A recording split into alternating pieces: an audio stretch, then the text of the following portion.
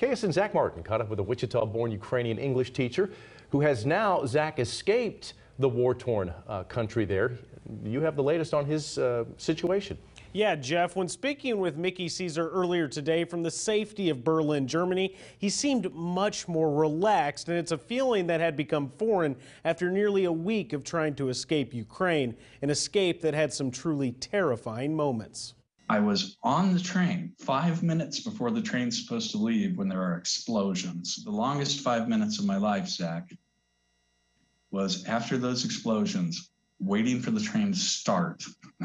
Once Mickey was able to get out of Kiev via train, he made his way to the western part of the country in the city of Lviv. From there, he went to the Ukrainian Polish border before eventually being able to catch a ride to Berlin, Germany. Even though they live in Frankfurt, they drove me all the way to my friend's place in Berlin, and I'm here. Once in Berlin, Mickey says he slept for 17 hours.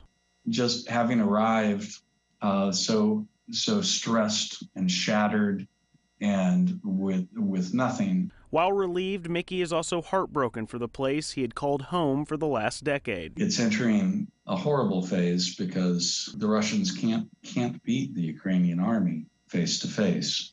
So now that now they're starting to attack civilian civilian populations. But the chance of returning to Ukraine is still out there.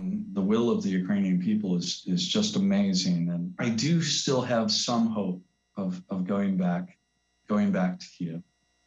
Uh, I I I don't know when exactly and how long it's going to take. Mickey says Berlin is disorienting for him right now because of two reasons. One, because he never expected to have to find refuge in a foreign country. And two is that life is still somewhat normal in Germany, a stark difference from what he saw in his Kiev apartment over the past two weeks. Here for you, Zach Martin, KSN News 3.